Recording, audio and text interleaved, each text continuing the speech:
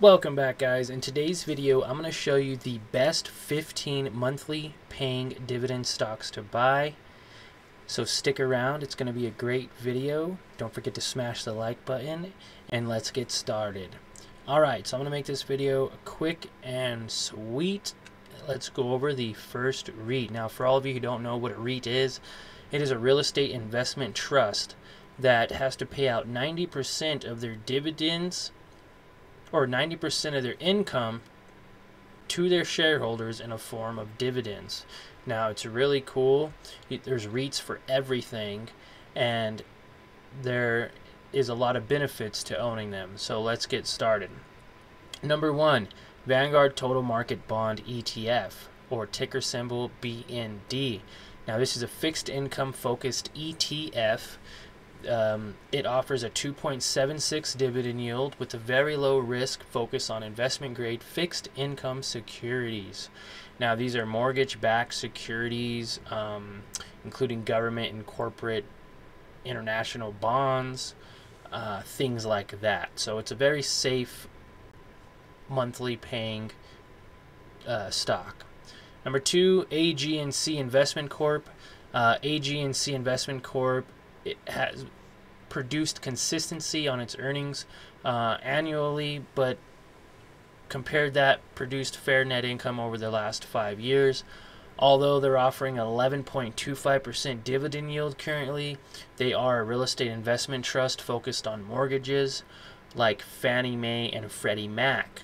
So there are some protection on their principal and interest payments which could be an interesting company to put into your portfolio to get some of that high yield of 11.25%.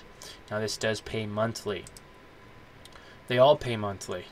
Global Net Lease Inc. or GNL, there is a um, there are a lot of REITs in the monthly payout game and is a small cap business play offering a 10.7% dividend yield, investing in commercial properties in the US, the United Kingdom, and over broader Europe.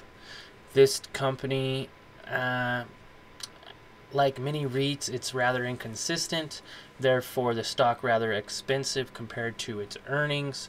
They have a market cap of 1.6 billion, but concerned about their 1.42 billion in total equity. Um, you might want to kind of steer clear of this one, or at least do your research before investing in it. Number four is LTC Property Inc. or ticker symbol LTC. This is another great REIT to buy. It has a 4.8 dividend yield and it finished 2018 with its highest net income in five years. Um, I like LT, CC because they deal with senior housing and healthcare facilities. Uh, the shares are cheap relative to their earnings, and it makes a nice monthly payday uh, right from the start. Next is Main Street Capital Corp, ticker symbol MAIN. Now they primarily focused on financing to the middle market companies. Main Street Capital has a 5.9% dividend yield and has succeeded in driving its revenue streams over the last five years. That is a great company to add to your portfolio, and I have many shares of that in mine. Realty Income Corp is the next one, ticker symbol O. Now, this is another great REIT. I've had this company in my portfolio for the last maybe eight years. They perform very well, and um, for the longest time, they were paying 25 cents a month. I believe that has gone up since then. Um, but this company is very consistent, and they've steadily increased their sales over time and uh, I just think it's a great company to get involved with. They pay out 90% of their assets and dish and distribute it in dividend form. So um, they have a 3.74% dividend yield, which is really nice and it's actually quite safe. Number seven is Shaw Communications Inc., or SJR. For everyone who doesn't know, this is also a real estate REIT. It's like uh, it's a real estate REIT, but it's a Canadian telecommunication firm. So they deal with um, like mid cap plays.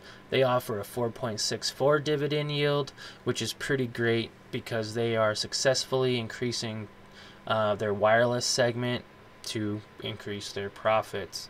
Uh, now, number eight is BlackRock Limited Duration Income, or BLW. Now, this company is a income trust, like a basically is diversified in a closed-end management company.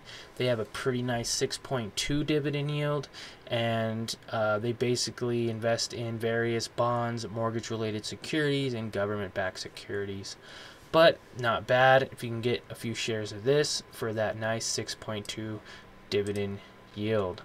Now, Gladstone Investment Corp, for all of my subscribers that follow me on this channel, you guys know that I am a big supporter of Gladstone. I have companies, um, well, I have stocks in Gain, Glad, Good, Land, and they're all from Gladstone Investment Corp. They have a nice 7.8% dividend yield, and they have a similar structure to the BLW. They invest in debt securities from stable businesses. It also chases capital appreciation through investment equities and is quite profitable over trajectorying in the right direction the last two years. Um, they have a great annual trend in terms of operating income, net income, and revenue growth. Uh, at the same time, their volatility nature, cash flow quarter to quarter, is um, more concerned with growing itself. Equity remains stable, but I think it's pretty solid overall. I have many shares of that. Now, the next two uh, Vanguard Long Term Bond Index Fund ETF, or BLV, that's a 7.3% market return per year and WisdomTree US High Dividend Fund or DHS is only a 3.5% dividend yield, but this company owns equity like AT&T, ExxonMobil, Verizon, Coca-Cola, and Chevron. So WisdomTree compared to like say Vanguard would be the better choice. It has a safer dividend yield compared to BLV, but at the same time, why not own a couple shares of each? Now moving on to number 12, Invesco S&P 500 High Dividend Low Volatility ETF or SPHD. Now this is a 4.26% dividend yield and they hold uh, they hold funds such as Ford, Altria Group, IBM, General Mills, and AT&T, which performs relatively close to the S&P 500. Now, if you want something essentially that tracks the market while collecting monthly payouts, then you would like this company, SPHD. Now, Invesco Preferred ETF or PGX, as you can see, has a 5.46 dividend yield, which is really great. They also have positions in PNC Financial Services, Citigroup, JP Morgan, JPM, and Bank of America. Yes, there are a lot of banks involved in this, which makes it beneficial as long as the, of course, global economy and everything stays normal. Now, next, I'm going to go over these two AAM S&P 500 High Dividend Value ETF, or SPDV is a 4.43% dividend yield. And again, they hold stocks like a stable form like Campbell Soups, General Mills, Delta Airlines, such like that. So uh, the next one is ProShares for number 15. It is ProShares S&P 500 Dividend Aristocrats ETF or Noble. Now a lot of people know this as Noble or NOBL. Essentially, this is a monthly paying stock stock that has exposure to market top dividend names.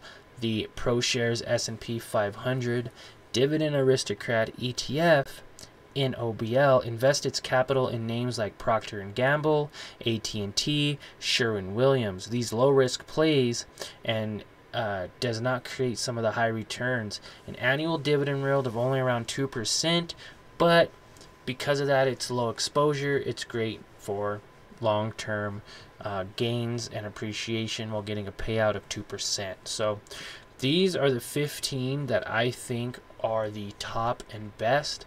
Now, um, also, this article is from thestreet.com. You could check it out um, anytime you want. It was posted a little later in, uh, it was posted a while back, but it is still very relevant now today. Hope you guys enjoyed the video. Smash the like button, follow if and subscribe if you haven't already. Okay, guys, have a great day.